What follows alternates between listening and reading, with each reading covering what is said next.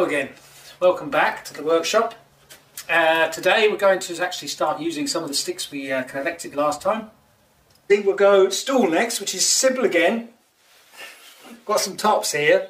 This one's an that was just an offcut from one of the trees, but I thought it was quite nice because it's got a heart shape in it. And this just a piece of oak, roughly cut to round. I think that was a piece of um, an old chair or something, garden furniture that had rotted away, so I managed to save a little bit of it. So we can use those for the tops. Have some legs here. These are just chops, chopped off bits of ash. Uh, remove the branches. So we can use these. And what we'll do is we'll dowel cut the end. Now I'm going to use this one. We'll use both today. And then just a matter of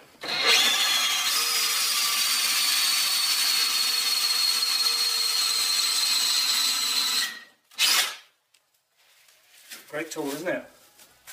So these I'm going to use with this. So we'll think about the length. Now I don't actually want them to come all the way out because I quite like the pattern so I'll stop them halfway. So we'll imagine that's about halfway. Just all three of these. So that's three, three dowel ends cut.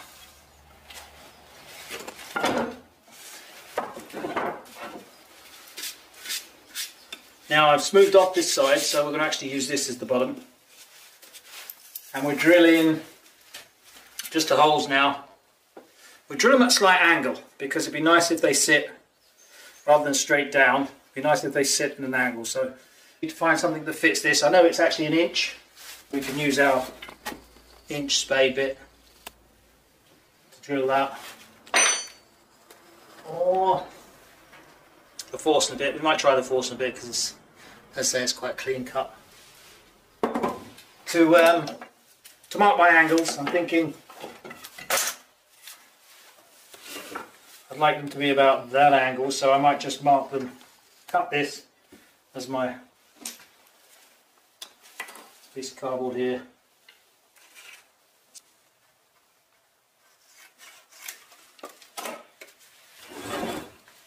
So this is just a marker so I know roughly what angle to cut at.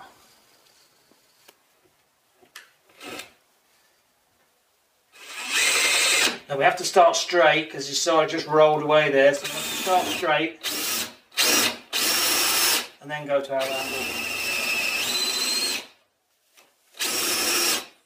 There we are at the angle.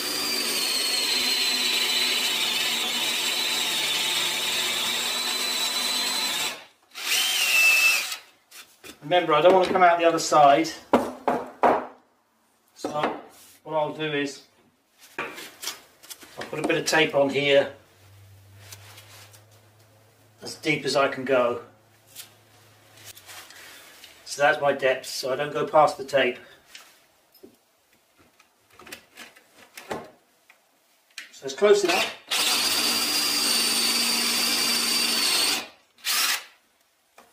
One done. So again, start straight until we've got somewhere to sit in and then we'll mark.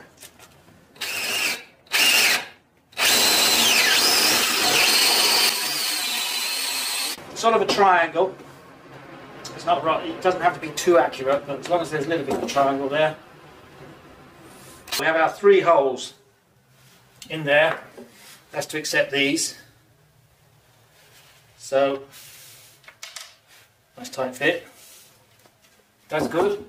I'm just going to put, take the sharp edge off this just so it runs in a bit easier. So just go around and just take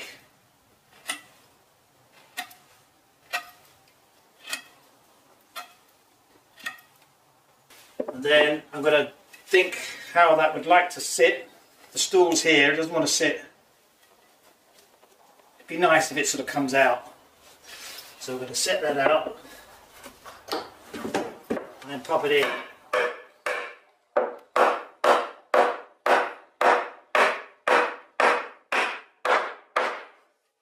We're getting home.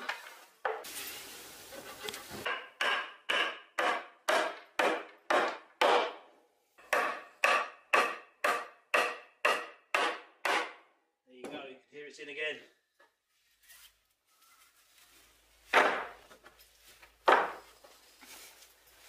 Quite a tall stall that one. Yeah, that works well. now the beauty of a three-legged stool is it's always gonna, it's not gonna rock because there's three legs.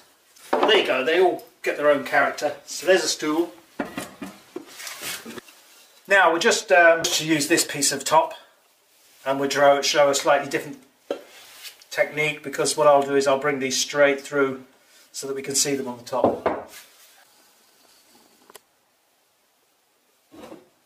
Trying to miss. This. There's a little bit of split there, and I don't actually want that too much in the. So I'm going to do my holes there. I'm drawing a triangle now. Roughly.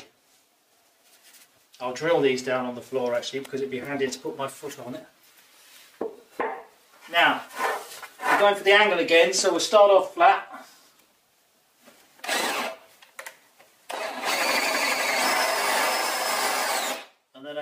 To the angle. The holes drilled. Um, we pop these in.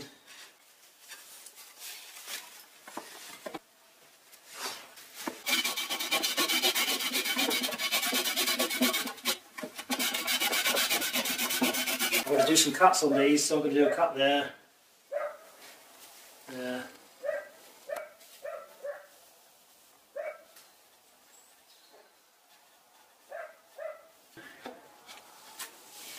Time. And a cut, a cut in there.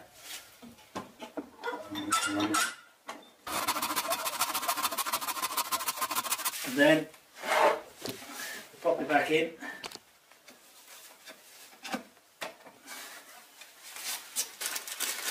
And I have these offcuts here.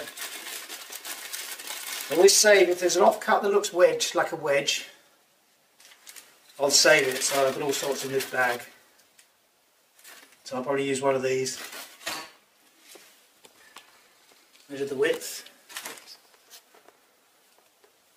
Actually, I'll cut that to the width. Pop that in there.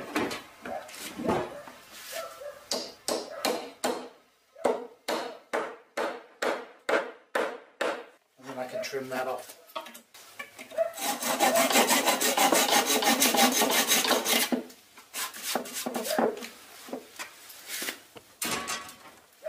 Now I'll do that to all three of these and then we can just sand it off.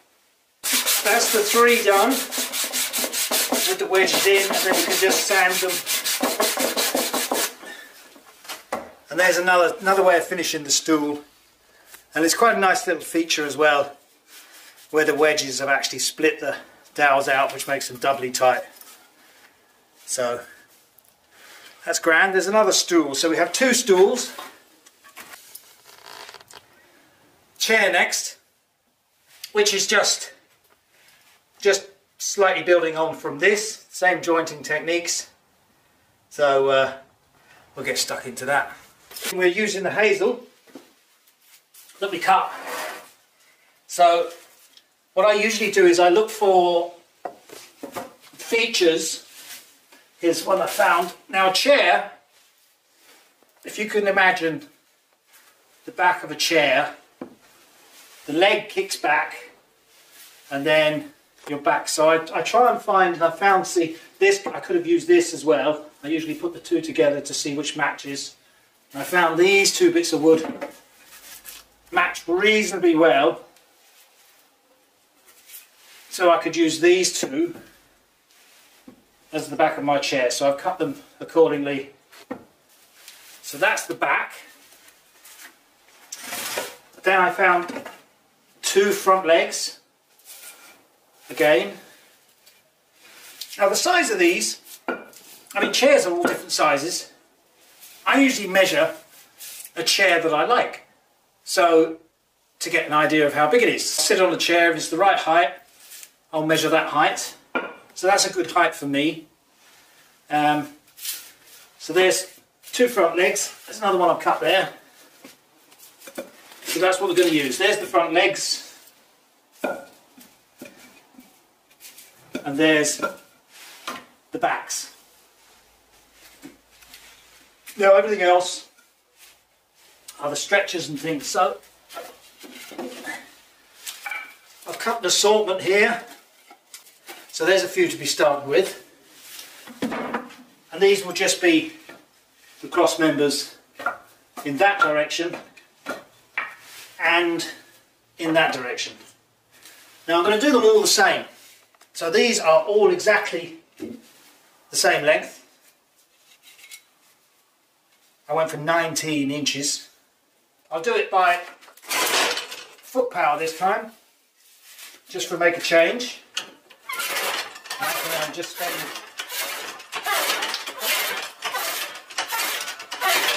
work the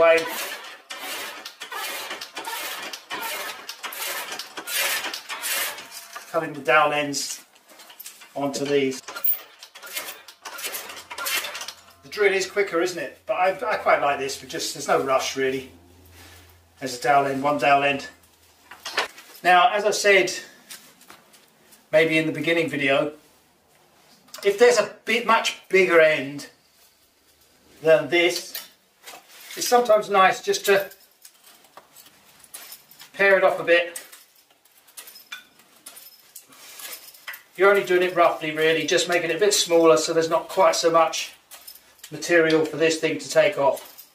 We just make it something near and then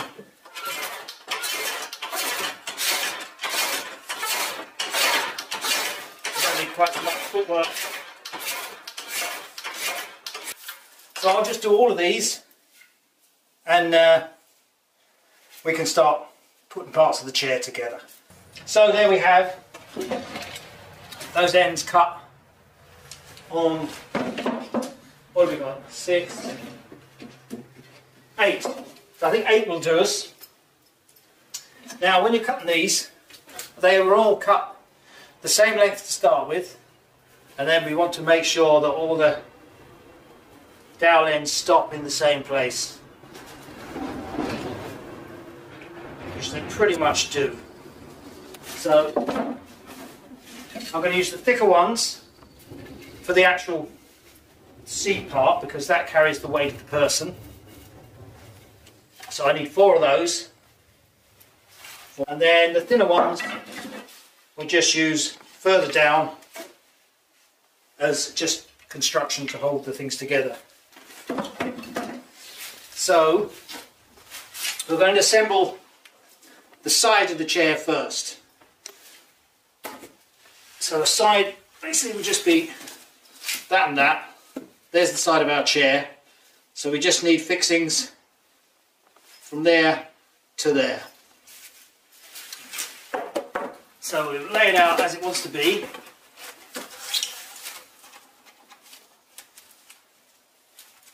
This is just looking, if you imagine looking on the chair, you'll see the back here, the legs there, and the ground there. So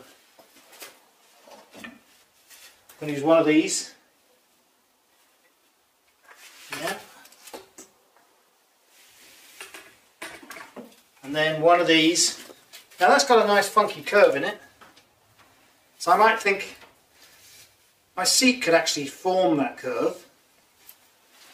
So that could maybe go in there. So I'm going to mark these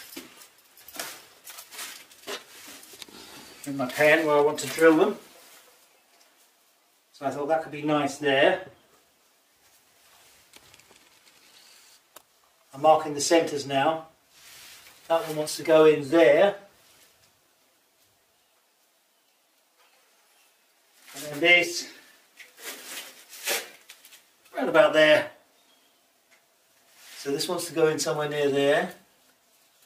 And this one wants to go in somewhere near there.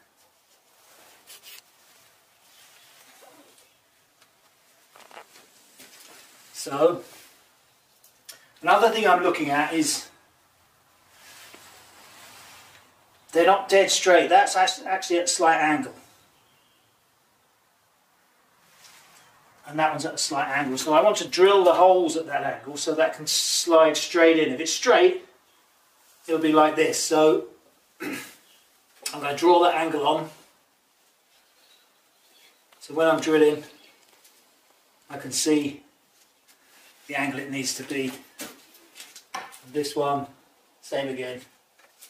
Now these are dead straight, so that's grand, I can just drill them straight. So next is drilling, drilling these. I have a 19 mil millimeters or three quarters this one actually spade bit I'm doing it on the floor because I find it handy to put your foot on it stop everything moving this is where I marked it and then on the side I said I want to cut it at this angle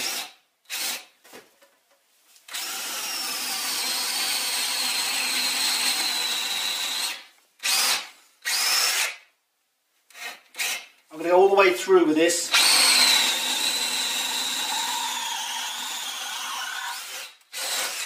out the other side. The second hole was here. This is a straight one so I can just go dead straight.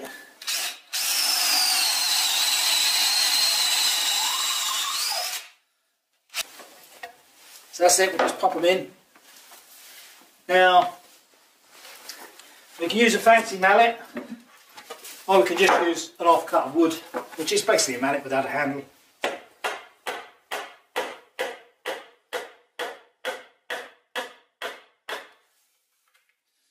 There we pop them in.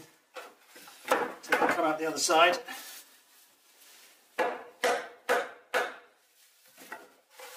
There's one. This was a straight one as well, so we pop that in.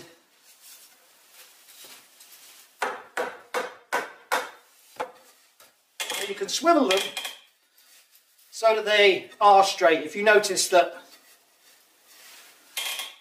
as straight as you can get them, straight that way, because if it's off of that angle, it'd be hard to just go into a flat piece there. Now, as I said, there's a bit of spring in these, the joy of greenwood, so we can allow for a few discrepancies. There's our holes there.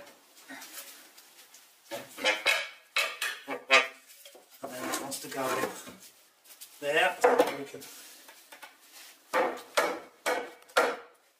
bring this in there, and this one in there.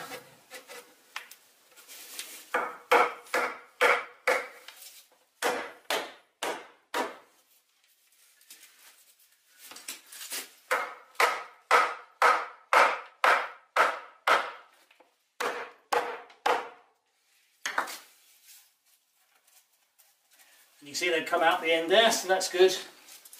This one not quite yet.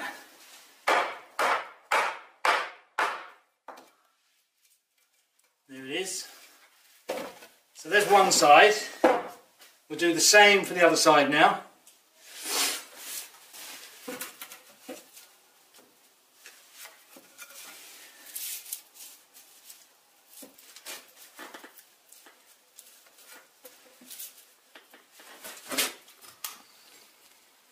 mark where they want to be. The one there, this one here. So that's so they all come in the same place. Now I want to try and get this the way that's actually starting to develop a little splay out. You can see that there, so this can be the left hand side. I can try and get, see if I can get that on the other side. They sort of design themselves, these chairs. So there's the display in that. And it wants to come out slightly like that. Like that. So that's not bad. Sticky. Fairly sticky these things across here next. One there, one there, and then maybe something around here as well. And possibly one down here.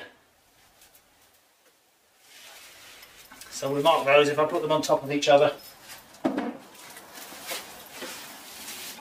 I can work out where they're going to go. Line up the legs. So, we'll go from here to here.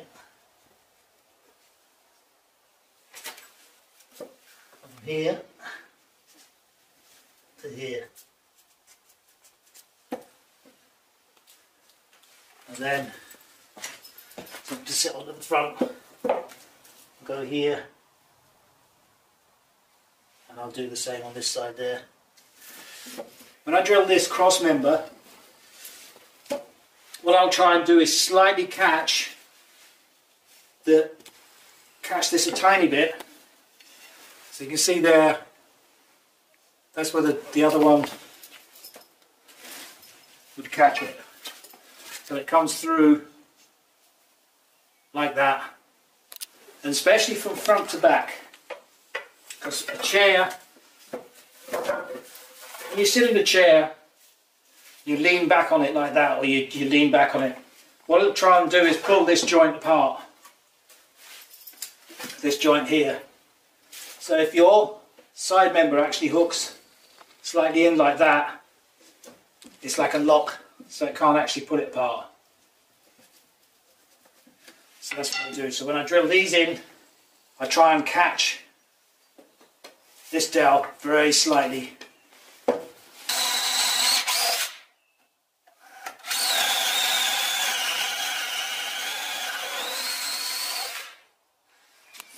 So we have the two front holes. Now the back, we can just ladder it and put a few of these in. That's the easy option.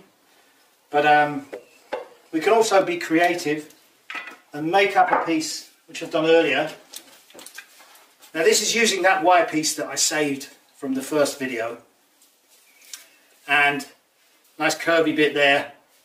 So I'm going to use this as the back. Now this, you work your way up to this. Make a few simpler ones first and then you'll um, have the confidence to make up a back piece like this and what I can do is I can set that in as the back so I'll drill it there there and then uh, we'll work away with that so I'll mark off my holes now for drilling so now we have all our holes as I say we've got to use this so we can pop that in there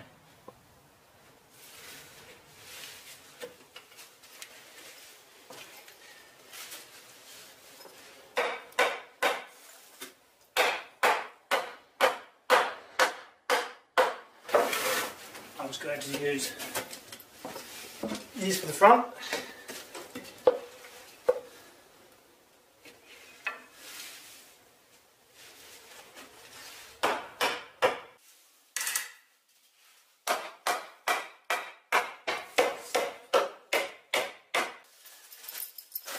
Now I'm definitely going to cut some slopes on these as lead-ins so that they slide into the holes and don't catch on the sides of the holes. I guess I could have done this before I bang them in really.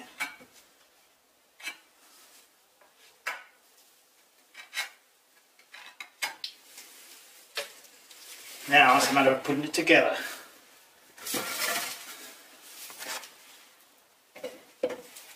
As I say, there's lots of play in these, so they can all move around.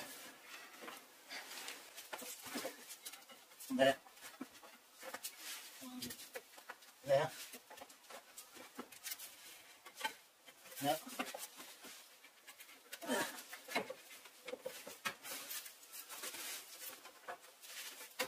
Piece of tap in there.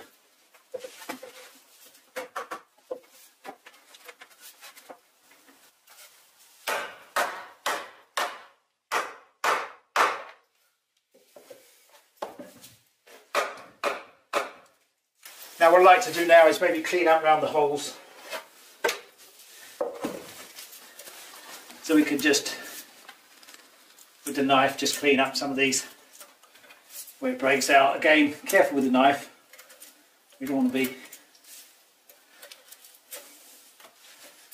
cutting ourselves now, do we? This one's clean, this one. You just now some of these, you see the dowel ends have all come sticking out nicely.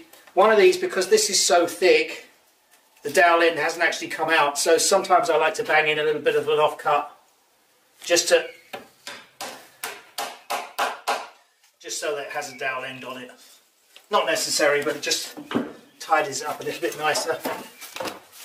Another thing I like to do now as well is trim off trim off these edges again just so that it's not sharp.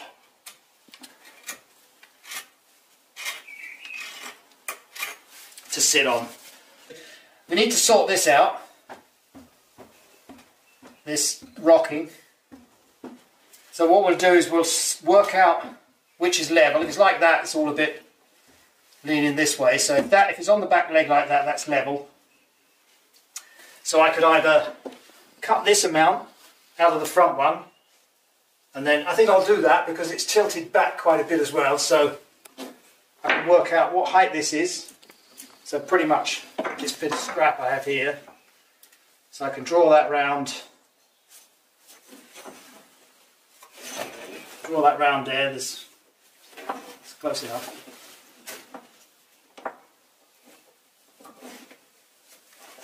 And then I can draw it around this side here as well.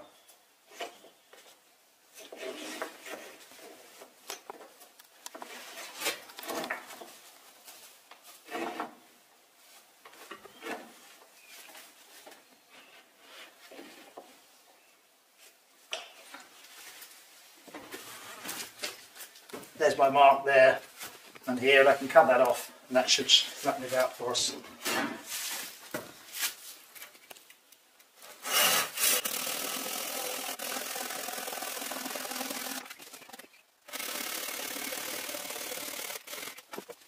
A bit better. So there we have the chair. We need to seat it now. Before I mentioned that we could have done the back with just normal rails like this one, but um, say I made up this fancy back. Anyway, we're seating, so there's various things we can use. This one is done with seagrass, which is um, like a sort of leaf from warm countries, which is just twisted and paired. Um, this one here, quite nice. This is done with willow. So, and again, the top was just done with two bars and then woven between. So, but the technique we're going to use today, because it's quite simple, is this. And this is using just normal chair, chair webbing, which is here. And what I've done, I've dyed it green as well, just to make it look good. I've dyed it a nice olive green. Okay, first thing to do is what we'll do is we'll clip it at the back to start us off. And to stop it fraying, I usually fold it over. And then I'll clip that just back here somewhere.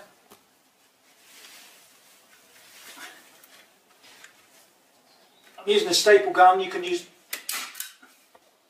you can use tacks as well, or nails, or anything really.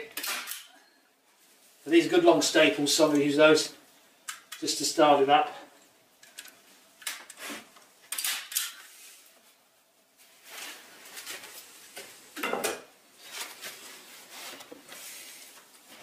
Then Tanya to work from the front. All we do is we just wrap up, wrap it up all the way across, round and round.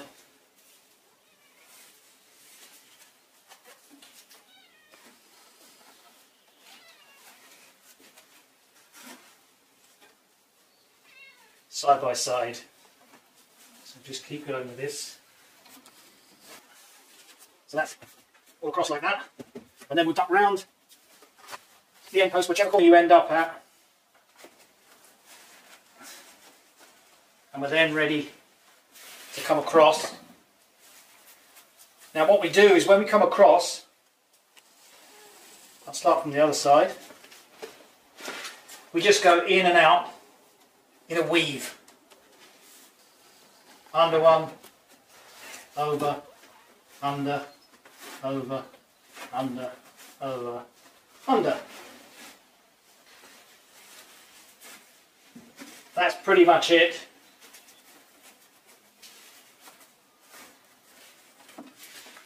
Like that. Then when we're at the other side, we go round the end post, round the end post here, back on the table, and then we can turn it up for this. We go right across the bottom. But we can do in and out of some on the across the bottom just to stop it hanging down. Doesn't have to be as strict as under over every single one. So just we duck and dive under a couple of them to the other side. Try and keep them flat so there's no twists in them.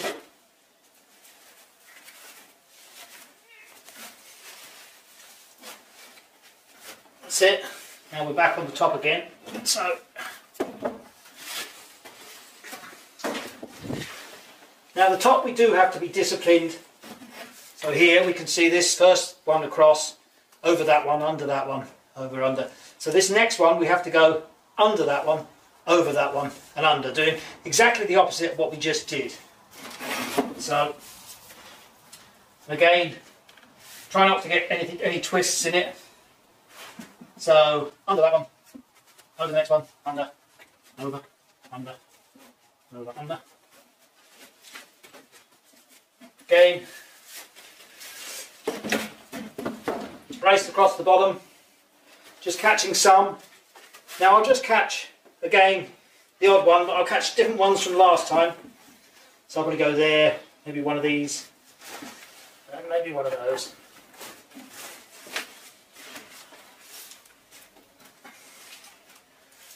and stop twisting again.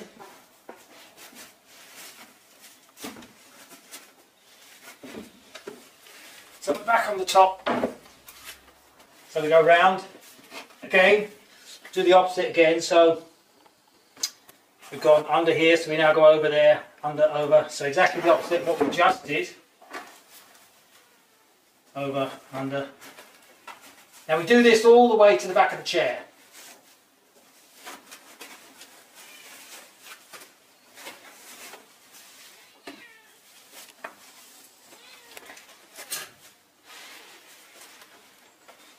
It a bit tight every now and then.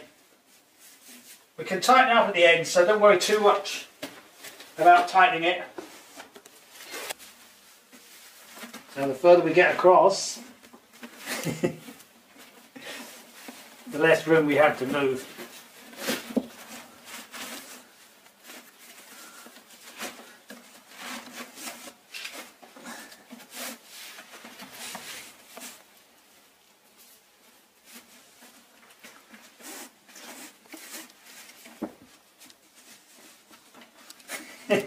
Not finished yet, Cat. It's not finished. You can't sit on it just yet. Grand, and we've only got maybe two more to go. So, what I might do is, because this is getting a bit tricky to actually stick a whole roll through now, so I might guess the last two and trim it off. So that would be one of them. This will be my second. and then I'll finish back here somewhere so I'll give myself a little bit.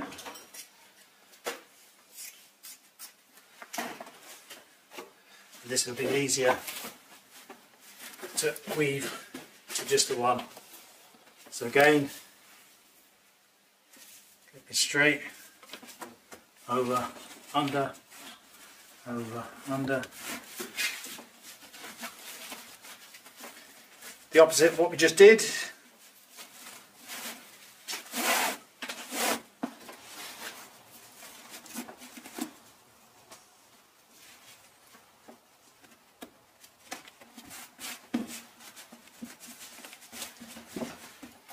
before we finish it off, we can actually just pull a bit more tightness into it. We can sort of start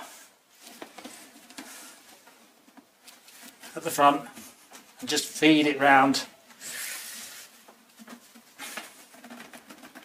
Just have to work which way it's going. This way, so.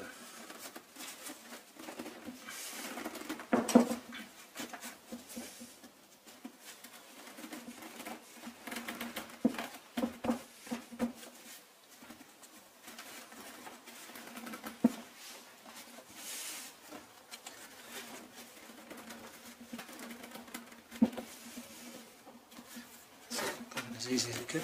That's the one.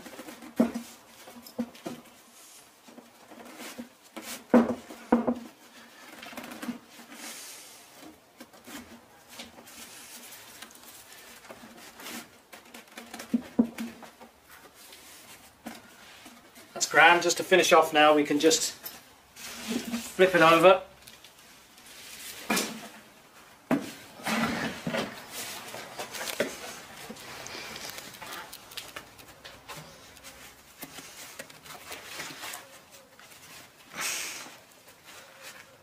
And just staple it along here and I might put a few more in there.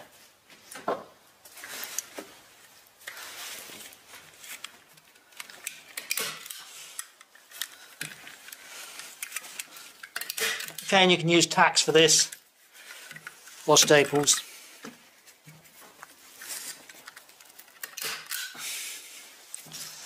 That's where we started so I'll put a couple in there as well to finish that off.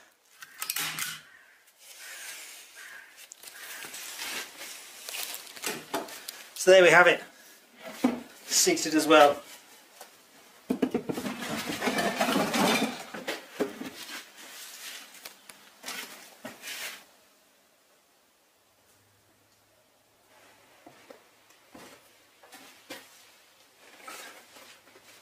Now, there we have it. Stools and finally the chair. So that's it for this time, this video. Next time, uh, we'll be doing more outdoor stuff. Same techniques, sticky again. So uh, we'll be doing probably a garden gate, a fence and some sort of arch. So uh, I'll see you then.